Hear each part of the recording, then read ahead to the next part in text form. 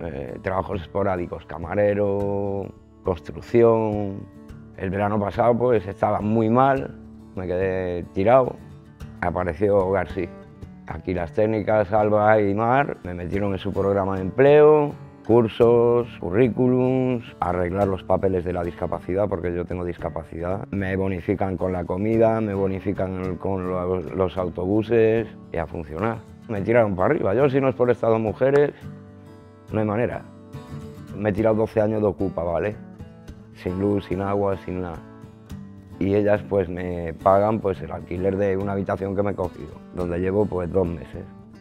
Hablamos casi todos los días y ellas me dicen lo que tienen para mí y tengo la libertad de elegirlo o no elegirlo. Se estaba haciendo un curso que lo acababa la semana pasada de jardinería ecológica. Me he buscado un terrenito para coger experiencia, para que luego no te digan que te falta experiencia a la hora de ir a trabajar.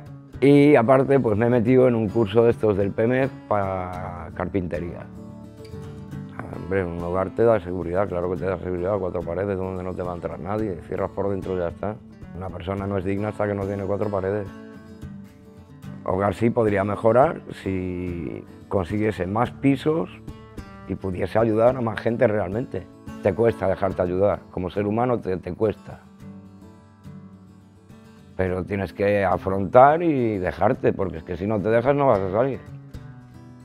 Hoy en día te puedo decir que es la primera vez en cincuenta y tantos años que tengo una hucha. Yo creo que si sigo así, no tengo problema. Que va, la seguridad que me da un trabajo, me da toda la seguridad del mundo. Toda. Joder, para mí una seguridad de un trabajo es poder pagar todos los meses el alquiler. Yo con eso y poder darle de comer a mi perra, ya ves, es el sueño de cualquiera, ¿no?